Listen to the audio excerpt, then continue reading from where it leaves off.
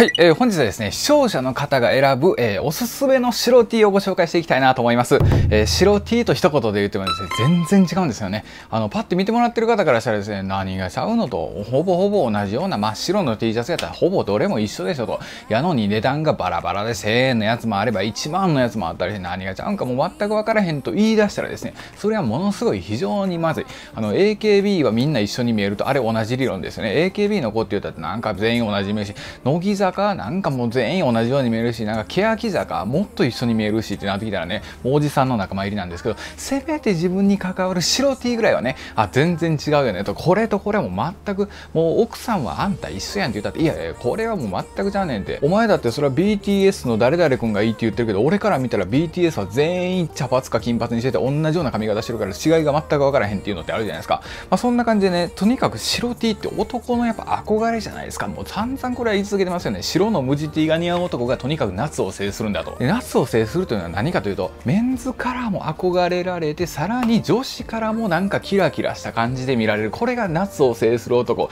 そう反町隆史 VS 竹野内豊理論なんですよね。だからまあこれがビーチボーイズという、まあ、ドラマになったりはしたんですけどもやっぱり白 T はね大事やろうということでね視聴者の方5000名にアンケートを取らせてもらったら皆さんご丁寧に答えていただいたのでまあ今日はねその7位から1位までっていうのを順番にだんだんだんだんって紹介していく形にしてまあ、それにねプラス、まあ、僕からの一言というか、まあ、これってこういう感じですよねとかそれに向けてね購入したやつもあったりするんですよ。だからこのランキング入ってるからねわざわざこれ取り寄せたりもしたりしたしまあ他にはねもともと僕が持ってるやつっていうのもこんだけ種類あってまだ置ききれてないんですけど十何種類か僕も T シャツ白 T 無地 T 持ってるので、まあ、このランキングに入ったやつもあれば入ってないやつもあるんですけど、まあ、ご紹介していこうじゃないかということでまずはね第7位から順番にいきたいなと思います。ではですね視聴者の方がおすすめする白 T 第7位というのがですね。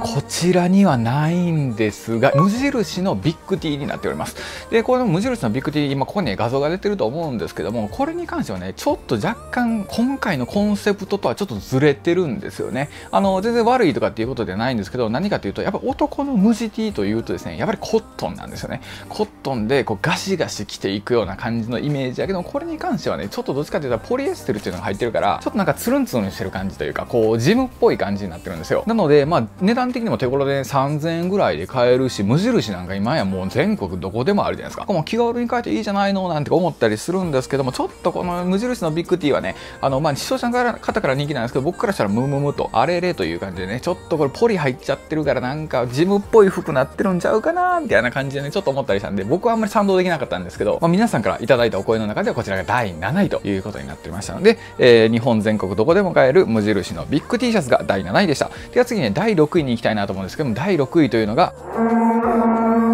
こちらのグッドオンという T シャツになってます。ちょっと一回上げていきますね。まあ、こんな感じでね、あのー、ランキングに入ったということで、もう急遽オンラインでパーってポチってね、あの、ギリギリ届いたんで今手元にあるんですけど、このグッドオンはね、よくグッドウェアと間違えられたりするんですけど、このグッドウェアはまだね、別は別であるんですよ。だからこれはまた別物なんですけど、今回これグッドオンというポケットの T シャツですね。これに関してはね、値段がだいたい5000円ぐらいで、生地のね、厚みが5.5オンスやから、もしかしたら透けるかな。ちょっと一回着てみましょうか、どんな感じか。僕も着たことないからわからんけどね。ちょっとね先ほど着てたやつに比べるとだいぶ薄いのでもしかしたら透けてるかあの形をねちょっと拾ってるかもしれません。まあ形といったらあれしかないですよね。あの例のね男子だったら2つついてて、まあ、女子も一応2つついてるけどそれ以上言ったらセクハラ発言になるから、まあ、男子が一応2つついてて気にするところ夏になったら。でこの左側ねポケットついてるからえー、いいんですけど右側どうなんやろな透けてるもしくは形拾ってるかなちょっと分からへんけども生地のね風合いがねアメリカのねコットンを使っててこれやっぱ土地土地で全然やっぱ T シャツも違うんですよね。これアメリカのコットンやからねどっちかっていうとボコボコしたようなちょっとザラザラしたような質感っていうのがこのアメリカのコットンならではなんですけど、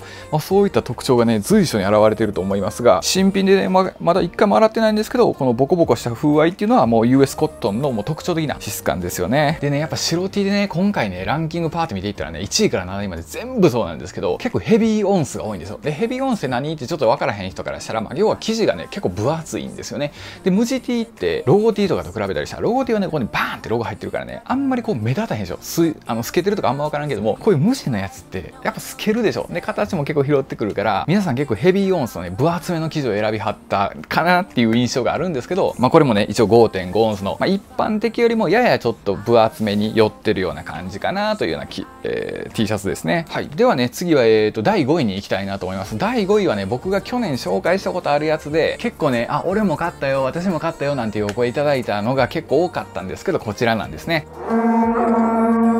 フォースアベターのパックティーになります。これはね何と言ってもね圧倒的な品質の割のコスパなんですよね。これあの6.2オンスって言って今この着てるグッドオンやったっけ？そうグッドオンが5.5オンスじゃないですか。だから6.2やから、ね、若干ちょっと分厚めになってるんですよ。でそれでいて2枚セットでね売られてたりするので去年僕購入してねあめちゃくちゃコスパもいいんちゃいますかという話をしたんですがあいにくですねもうその後完売になったみたいでなんか今はねもう作ってないんかなちょっと分からへんのですけどちょっと海外から生地が入ってき来てないんかなんかっていう噂もちらっと聞いたりはしたんですが、まあ、そんなことでねもう今は販売してるとこちょっと見かけないんですけど、まあ、これもねランクインしました。まあ多分フォーサーベタが入ったのは僕のチャンネルの視聴者の方やから入ったんかなと思ったりするんですけどちょっと一回着てみましょうか。5.5やったらこれぐらい拾うでしょ6.2になったらちょっとまだましになると思いますわ。はいという感じでねちょっとこれサイズもちっちゃいですけどね。これ M サイズがちょっとちっちゃいけどもまあ言うたってパックティーやからね。まあパックティーってもともと肌着下着とか肌着って意味なんでまあ1枚でこう着るにしてはちょっとかっこよさはないかもしれんけどまあコスパとかね品質的に考えたらまあまあええんちゃいますかいうことでねあの去年ご紹介させてもらったんですけどこのフォースアベタが第5位と。では次第4位に行きたいなと思うんですけど第4位はね僕ちょっとうーんっていう感じなんですけど第4位ではこちらです。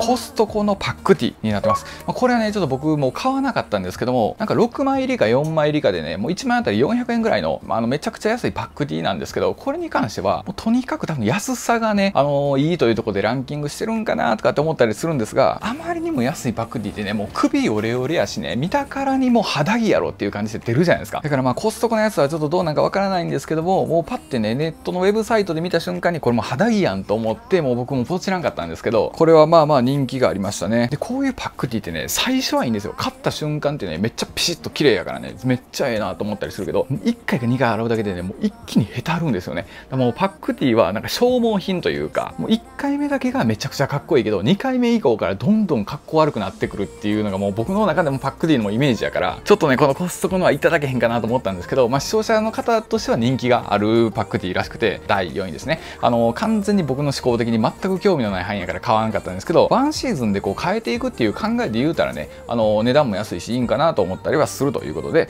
まあ、その後ね雑巾にしたりもできるし子供の小学校のねあの新学年とか新学期が始まった時の雑巾にもできちゃうよなんて言ってね、まあ、そういう使い方もできるんかなというところがこのコストコですね、まあ、僕も先生やってる時にね雑巾新学期持ってこいよって生徒に言ってるのにねまあ一回持ってこんやつがおるんですね。ティッシュは持ってきてるけど雑巾忘れましたってもう雑巾持ってこいよって言ってるのに雑巾いつも持ってこなくてなんかなーなーで終わっていくっていうのもあったりしたんですけど、まあ、そんなこと言ってんかわからんけどまあそれが第4位ということで次第3位に行きたいなと思います。では第3位っていうのがこちらのグッドウェアになってます。でこのグッドウェアはですねもうパッて見るからにも見る人が見たら分かるんですけど拡大してねアップしていくと生地感がちょっとボコボコしてる。えボコボコしてる生地ってどこでしたか？せーの。アメリカ。という声で正解なんですけどもそのアメリカのねコットンを使用してるということでこれも比較的分厚いです。これ確か7.2オンスかなぐらいあるからチャンピオンの T1011 とかも7.2オンスか7.1オンスかそれぐらいからね。ほぼほぼチャンピオンの T1011 と変わらんぐらいの厚み。でチャンピオンの T1011 と言ったらもう大体洋服好きな方はね今まで1回は見たことあったりとか聞いたことあったりすると思うのであかなりヘビーウェイトな生地使ってんねんなっていうのが分かると思うんですけどちょっと一回着替えましょうか。はいとまあこんな感じでねえーとこれは L サイズかななんか着用してると思うんですけどもやっぱ白 T もね一個一個やっぱ色味も若干ちゃうしそのボコボコするだけでもちょっとカジュアル感が出てきたりすると思うのでねやっぱつるんとしてる方がちょっと綺麗めな要素があったりデートでも着れるんかなっていうのがあるけど、まあ、こういったボコボコしてるのはどっちかってアウトドアとかで着たいなみたいな感じのね作りになってるかなと思います。これ確か6000かぐらいだと思うので、まあ、7.2オンスまでいったらどうです？そんな拾わんでしょう？乳首の方をね、まあ、こうやってね引っ張っていくとねおっと乳首がちょっと見えてるかなというちょっと卑猥なも見せて申し訳ないんですけども見えるというか形をね拾ってくるきますが、まあ、普通にこうやって着てる分にはねそんなにもう7.2までいったら拾わんかなと。でも人によったらね視聴者の方でいや7.2でも色は分かりませんよと。色は隠れるんですけどちょっと形がね僕の場合ちょっといびつな形しててっていう方もいらっしゃってどんな形してんねやろうなと思ったりはするんですけどちょっと形拾う人もいらっしゃるみたいなんでもう両方ポケットの T シャツ着るかもっと分厚いの着るかしかないと思うんですけど、まあ、それがね第3位ということになってました。ではね次第2位に行きたいなと思います。第2位というのが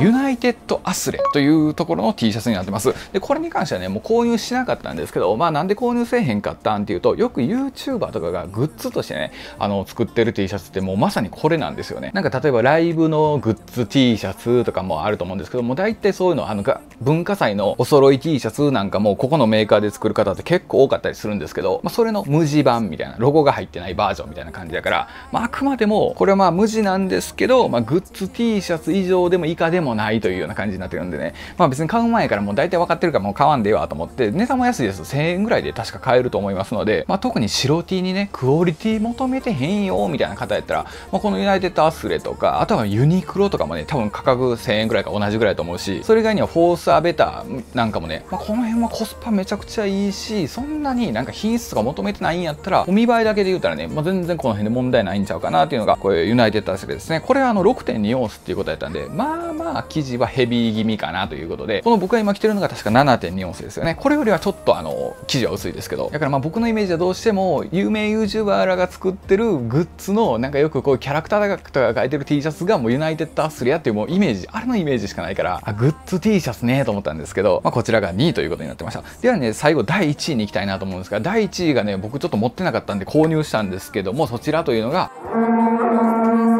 このプログラフになってます。プロクラブでした。すみません。プロクラブになってます。これちょっと一回開けてみましょうか。今回ランキングしたんでね、初めて僕購入したんですけども、だいぶこれあれですね、漂白かかってますね。色がめちゃくちゃ白いというか、青っぽくなってるんですよ。で、これって漂白かけると青っぽくなっちゃうんですよね。で、やっぱ開けたばっかりやから、どうしても漂白の匂いがしてますけども、こちらが第1位ということになってました。まあ値段でしょうね、これに関しては。一応6.5オンスあって結構分厚めな生地になってるんですけど、値段がなんと1000円。お買い得ですね、ということで1000円で売ってあって、めちゃくちゃ漂白されてるからね、あのー、ちょっと通り越していくと体操服的な感じにちょっとなりかねへんけど一回ちょっと着てみましょうか。これはね確かあのアメリカのやつなんでちょっとサイズが大きいんですけどこれ確か L サイズでもともとオーバーに作ってるとかじゃなくて外人用に作ってるからねちょっと大きくなってると思いますがやっぱりリブがねちょっと太いだけ首のリブがちょっと太いだけで一気になんか体操服感出るでしょ？だからリブもね細いか太いかでもえらい変わってくるしねこんだけ詰めるかねもうちょっとゆっくりするかでもねだいぶイメージ変わってくるんでねこれに関してはね詰めていってリブ太くするとやっぱ体操服感出てくるんですよね。やっぱ僕あんま好きじゃないんですけど、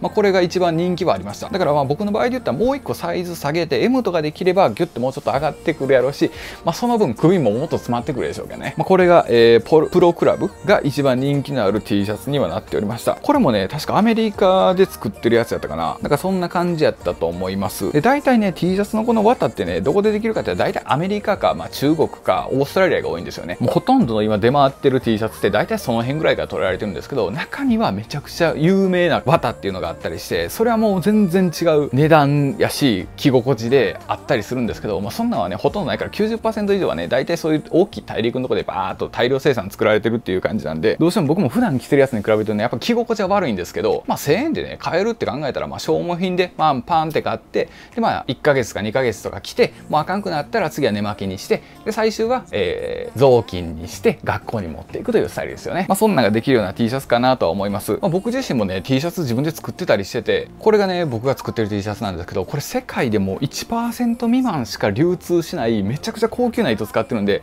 それはやっぱ着心地全然ちゃうんですよね。で値段も全然ちゃうしね。まあでもパッと見は別に変わらへんじゃないですか。あの安い T シャツだろうが高い T シャツだろうがやっぱパック T はねさすがにあかんですよ。パック T はでいっちゃうともう肌着感出ちゃうけどまあ1000円ぐらいでねこれぐらいやったらまあ1万する T シャツであっても1000円の T シャツでもそんな見た目変わらへんけど、まあ、着てる本人がね違うだけやからまあ見た目だけね気にしてるんやよっていう方やとかやったらねやっぱ1000円ぐらいで、まあ、これぐらいの品質のやつってあったりするんでね。ええー、時代になりましたなあ言うてね。あの、まあ、僕個人的に1000円で一番良かったのは例えばこのプロクラブもそうやしユナイテッドアスレもそうやし、まあ、ちょっとコストコとかはねちょっとあの論外ですけどこのヘインズのパックティーなんかもね1000円ぐらいで買えたりするっていう、まあ、全部考えた中で一番その1000円で一番いいの何って言われたら結局ユニクロなんですよね。ユニクロがまあ僕は作ってる側でもあるからその生地からしてもいいんですよ一番。ほんで作りも日本人に合わせた作りしてるし着た感じのシルエットもちゃんと日本人っぽい。でさらに使ってる生地もこの1000円使ってる中でもちょっとぐんと頭抜けていいからね、まあ、僕個人的には1000円で考えたユニクロが一番いいんちゃうかなと思ったりするんですけど、まあ、これがね今回のランキングになってました。だからもう一回第7位からいくとまず第7位が無印のビッグティーそして第6位がグッドオン。ほんで第5位がフォースアベター。まあ僕紹介しましたよね。今もう売り切れてますけどね。で第4位が僕全然納得してないコストコね。で第3位がグッドウェアね。これ7.2オンス一番分厚いやつね。